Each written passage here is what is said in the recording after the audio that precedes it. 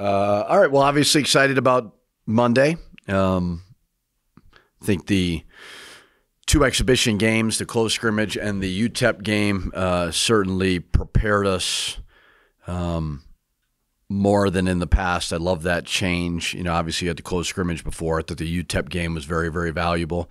And uh, now we turn the page to Nicholls. They've got two all conference players. They're um, you know, like any non-conference games, it's a unique style of play. Smaller guys, um, matchup wise, always a challenge. Uh, but fired up, obviously, for uh, it to kick off. You've talked about exhibitions, scrimmages are one thing with minutes, and then we see how the players react once they learn their minutes aren't there or they're not going to play as much. Is that something you tell them ahead of time? Do some of the deeper bench guys know, or do they find out Monday when you don't put them in? Um, good question. I mean, I, I would assume they would have an idea. Uh, I mix up um, teams a lot in practice to try to just give a different look, but also to try them not to think that way. Um, but they'll see on Monday. You know, I mean, and again, it's um, as I told them, I, I, broke up the team. We have 16 guys. Um, and I grabbed like 10 of them and put them in a group. And then I grabbed the other six and I said, You 10 are probably going to play, might be less. And I didn't specify who the 10 were. And you six over there are not going to play. Doesn't mean we don't love you. Doesn't mean we're not invested in you. But uh, that's the challenge of being a good coach. You six, uh, being a coach, you guys have got to be ready. The six got to be ready. You can't be um, you, you, don't have to be happy with your playing time, but you got to be professional about uh, the approach, and you just got to continue to get better. You know, so I think they probably have an understanding, but I try not to ask questions that I don't want to know the answers to, and that that would be one that I don't want to know the answer to. Uh, Tru talked the other night, and you talked a little bit about Tru. Um, I wanted to kind of follow up when when you watched game film, um, when you I guess had more time to evaluate his his game against UTEP and and the close scrimmage is what we saw on Monday night what you expected the next step to be for Tru? A little more aggressively, it looked like offensively, um, and can he play beyond that twelve to thirteen minute, which is what about what his cap was last year? Yeah, he'll play more than last year for sure. Um, my goal for him is to be in the conversation of defensive player of the year in the league. I think he's got the ability to do that. Obviously, making three threes was great. Um, I don't think Tru is a bad shooter, but you know, just making shots is, is very important, um, especially at that two or three spot. You know, we our guards have got to make shots, so um, that was a welcome addition. Um, but yeah, I mean, I think uh, his role is going to increase for sure. Um, he brings dynamic defensively, energy wise deflections. Um, he should really, really buy into that because he could be a lead at that. Um, Coach, can you just talk about this matchup? What you see out of Nicholls? Yeah, I mean, like I said, two all-conference players. They um, they will play some matchup zone. They'll play some man-to-man. You know, you don't have a lot of film early in the season. Um, you know, so it's a little bit of unknown for everybody. Um, you know, so you got to stick to your principles um, as best you can. So um, it's not going to be an easy game. I think it's similar in a lot of ways to a UTEP um, where they're aggressive, they're athletic, they're fast, they attack the basket. Uh, so it's going to be a really good challenge. For sure. And um, other than obviously you want to get the win, but what else are you looking out of this game? Are you hoping to get a certain amount of minutes out of a guy, a certain amount of deflections, rebounds? What else are you really looking out of this? Uh, I mean, the minutes thing that depends on the you know how the game goes. Um, deflections, we always try to get thirty plus. Um, we chart that. Uh, you know, I think you look at the UTEP game and obviously alarming to turn the ball over 25 times, rebound the ball very, very well. Uh, have to make more threes. I think we made five, and one was Donovan at the end of the shot clock, and three were Tru. Um, but our effort was good, but the execution's got to be a little bit better. Um, but yeah, more than anything, all hands on deck to see if we can figure out a way to get a win. You, you mentioned the guys that might play and the guys that might sit, but given the schedule, look, you some years you can kind of ease into things by playing some lesser teams, but you have UCLA, you have St. John's right off the bat. Does that change your philosophy and in, in terms of like maybe pushing the depth chart along a little faster than you typically would like to? Uh, there's definitely a heightened sense of urgency. Um, not to overlook Nicholls by any means, but you, you play UCLA a week from today. Um, you know, you're you're playing two top 25 teams in your first four games. So uh, I, I don't, you know, I'll play whoever is ready, and and um, you know, depending on what the game is. I mean, I do think we have depth, but you never have as much depth, I think, as you think you do. Um, but yeah, I mean, I think everybody's got to be ready, you know, and uh, especially with those type of games where they're going to, you know, UCLA and St. John's are going to press every single possession. They are. Um, nothing's going to come easy to anybody, and uh, that'll be good for us. I'll go ahead and put you on the spot for something you probably don't even know much about yet. But Grand Canyon's reports are that they're joining. How much now that the season is here are you going to be, you know, keeping an ear at least a little bit to uh, what's going on with some of that stuff?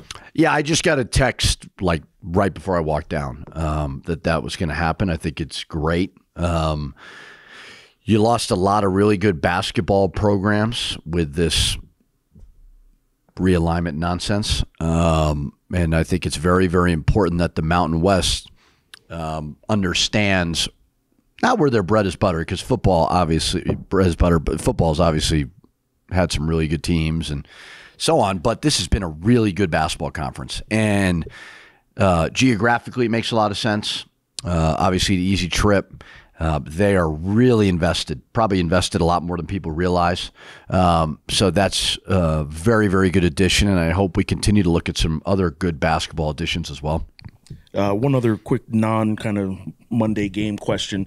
I'm just curious if you regret in any way the, the Yankees losing and your role in that by not by not I staying helped for them game win. five. Yeah, I you helped weren't there them for win. game five. You know that was uh, that was quite a bummer. I was uh, thinking of all the ways to watch. We have a Hall of Honor thing tonight, and I'm like, well, I'm gonna have to have the phone out. We're there at five nothing. I was like, well, how am I gonna watch the game? And uh, man, one bad inning and one really, really bad inning. But it was uh, it was a lot of fun. I mean, to be able to do that's a long trip, hard to do, but it worked out with the days off. Got to see my dad. Got to see uh, a little bit of St. John's actually practice, where all the players are looking over at me like, why is he in this gym? Um, but it was fun. It was great. It was great to be with the family a little bit and see the Yankees. He, you think your dad was like screwing with you a little bit with what they were doing? No, no, no. They're they're um, what you see is what you get with him. You know, and it hasn't changed a whole lot. And why would you change?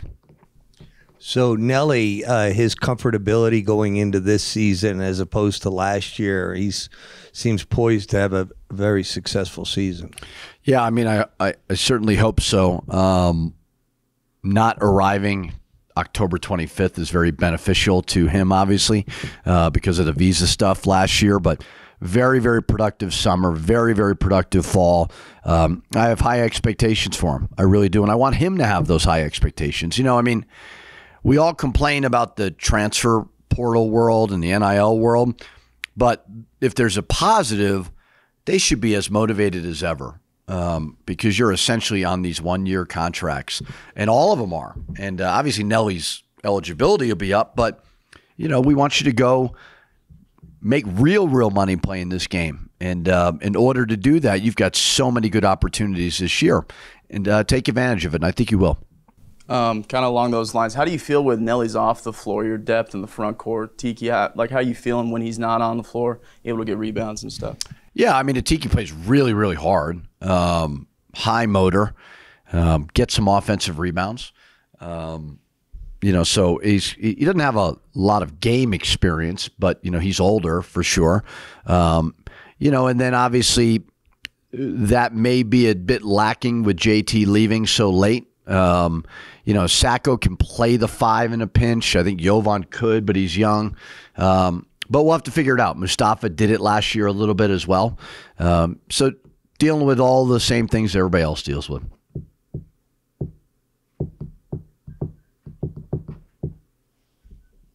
like this microphone. It's great. Yeah. Yeah, it's really good. Makes things makes a difference. Sacko, we saw him shoot some threes in practice. He took a three in the game the other night. Is that the role that you see him as if he's going to play a four or five? You know, I mean, do I think he's a great shooter? Probably not. Um, but he needs to be able to make it, you know. So if you're not going to shoot it, it just hurts the whole flow of the offense. So I've encouraged him, and he made some last year at Georgia Tech. I think he can make them. Um, so yeah, I mean, if he's open like he was last game, he needs to shoot it. Uh, is that his role? No, probably not. But um, you know, he's good around the basket. He's a good ba- uh, he's a good passer. Um, he's pretty relentless on the glass. But yeah, if he's open, he's got to shoot it. Microphone back one more time. Uh, Filip, you, you mentioned him only taking two shots in 20 minutes the other day. And wh- what was it like right after the next day and may- maybe in practice? Did he did you see more assertion out of him? Yeah, he, he, I think he was a little nervous, honestly. Um, hasn't played a lot, you know, didn't play a lot at Arizona, and really wants it badly. Works his butt off. Uh, sometimes people like Filip, who are perfectionists, can be a little hard on themselves, and um, you know, so I think he'll really settle in well. Um, but that's why you play those exhibition games. But yeah, like I told him at halftime, like you can't play this many minutes and not shoot the ball. Um, so he, he he he understood it. He's very easy to coach. I know it's only we only had one game, but we've seen and Mustapha obviously had missed some threes. He had a slow start last year. Is it one of those things just keeping his confidence up? Are you feeling confident? Is he feeling confident? Yeah, I think so. I mean, he's dealt with it. You know, there's one game, right? Um, but I didn't think any of them were really bad shots. He got fouled on uh, one or two of them as well. So um, he's mature enough. Like um, CJ, another one. Like we were talking about yesterday. Like they've dealt with it. You know, they'll, they'll know how to get themselves out of it, and I'll give them confidence as long as they deserve it. You know. As Jared said, very small sample size. Are you concerned at all about where you're going to get points once you go to the bench? When who goes to the bench? When when you go to the bench, are you Um, concerned? yeah, I mean, small sample size. We we've got a lot of new guys on the bench for sure. Um, so, but like everybody else, you know. Um, so I don't know. I mean, I'm concerned with a lot of things when you have this many new guys and this tough of a schedule early. Um, but we can't have the drop off that we had last game when I subbed. Now I I'm not going to sub like that in a real game. Um, so you know, normally I'll do one guy and kind of keep the core and then get that other guy out. You know, so um, there's kind of a more of a method to the madness than what I did versus UTEP, but it's an exhibition game. Preseason layup here for you, but like season ticket sales are going to surpass last year, biggest probably since before COVID. Kind of heading back in the right direction. Do you feel any kind of buzz about the the fan base, like excited after last year, or is it more the same? Yeah, I think there's a buzz for sure. Um, there's always a buzz around here when basketball season starts. I mean, I, I've loved the um, the fan support has grown as the program has grown. Um, you know, obviously winning will do that. we have a, I really do believe one of the best fan bases out there. We're now top 25 in attendance. Um, you know, and I think people, I think they they enjoy coming to the pit, right? This community loves coming to the pit and being a part of it, and we're we do our very best to appreciate that. We've lost way too many games in here with some good crowds um, that we got to take better advantage of. Um, but yeah, I mean, I think it when you win, I, I think people turn out, and you know, we've had two really good years. Um, you know, 22 wins and 26 wins, and we got to keep that momentum going. The other night, World Series game, I have to ask you, whose jersey are you wearing? Mickey Mantle. Mickey Mantle. It's actually a funny story. So when um, I was going to land, I, I texted my dad. I'm like, "Where am I? Am I going? Am I going to the city? Am I going to your house? Where am I going?" He goes, "Come to St. John's." And I'm, he goes, "I'm practicing." I'm like, "All right, am I gonna you gonna make me sit in the hallway or can I watch whatever?" But then he's like, "Oh yeah, and I'll bring your jersey." I'm like, "I didn't agree to wear a jersey as an adult," but he has legitimately like five different jerseys that he has those tickets. He bought them season tickets, and uh, credit to him, man. Like 72 years old, he loves going. Um, I know at 72, I'll be watching that thing on a lazy boy. Um, but yes, it was his jersey. He provided it to me. And second, every time they show a left-handed batter from the Dodgers dugout, you're the two of you are on TV. How many how many messages did you get during the game? A lot, and uh, I put my my cocktail down. I made sure I was patient with that. Uh, only for righties would I start sipping it. But yeah, no, I got a lot of texts. Um, me, my dad, and Spike Lee. It was uh, a lot of high fives going on. But it was it was. Um, yeah, you can't uh, lie about your whereabouts when you're on TV like that. But it was a lot of fun.